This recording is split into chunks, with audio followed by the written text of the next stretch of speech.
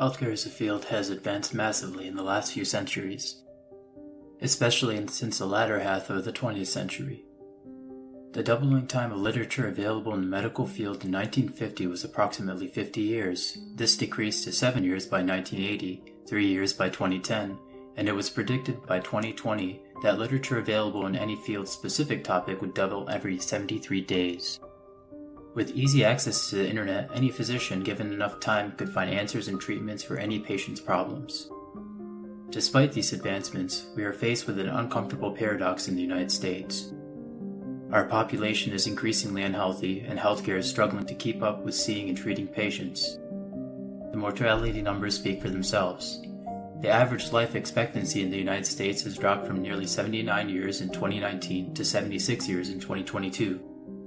So, if doctors have more information than ever on how to cure things, what is causing this paradox? Sicker patients living longer.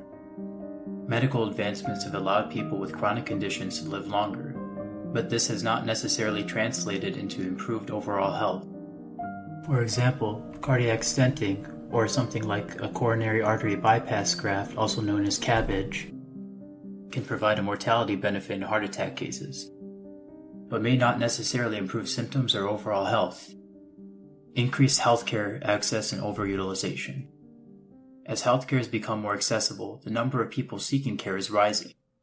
Thanks to the pandemic, getting checked out for any cough or fever has been normalized in all ages, but especially notable in younger patients. Younger patients who would have stayed home in the past are now used to seeking care and coming to the ER for all problems. The healthcare exodus. There has been a large exodus in the healthcare workforce as more and more nurses and doctors leave, both due to age of baby boomers but also the stress of the duties and lack of fulfillment in patient care. Their replacements are saddled with higher expectations, higher patient loads, and sicker patients. This has led to overwhelming career dissatisfaction, burnout, and increasing suicide rates. This leads to strain on the system and potentially compromises quality of care. Reactive treatment over preventative care.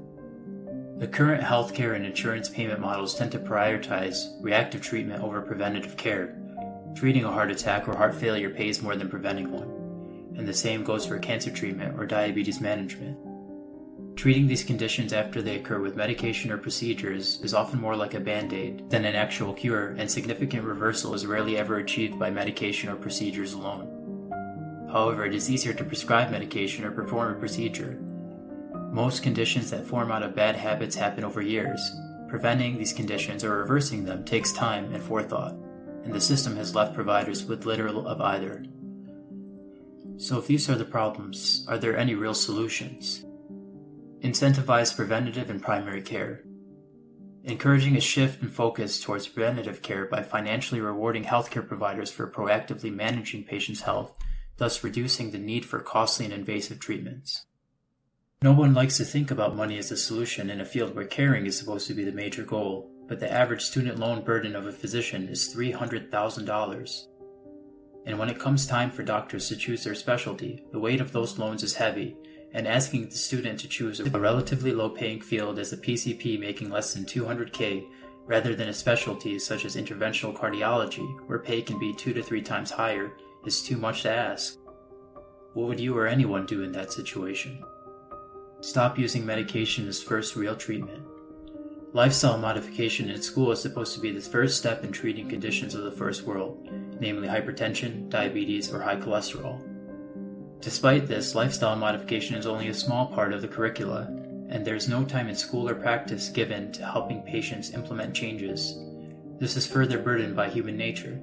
Patients do not want to change habits they've developed over the course of many years. They want a pill that they can take once a day and the problem goes away. Rather than relying on medications as the primary solution for health issues, we need to promote alternative strategies like lifestyle modifications and behavioral changes to address the root cause of chronic conditions. Return to patient care at home. Doctor's visits to a patient's home are seen as an antiquated thing of the past, or are reserved for the ultra rich who can afford to have a concierge doctor on call at any time. But more and more it is apparent that asking people to change, then not following up in their home environment is not working.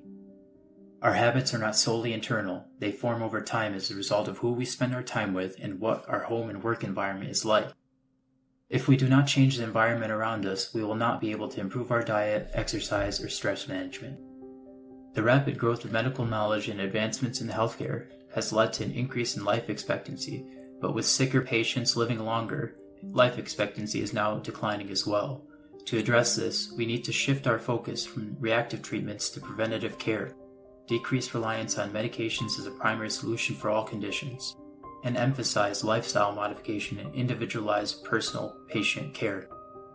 I believe by implementing these solutions, we can work towards a healthier society and a more sustainable healthcare system.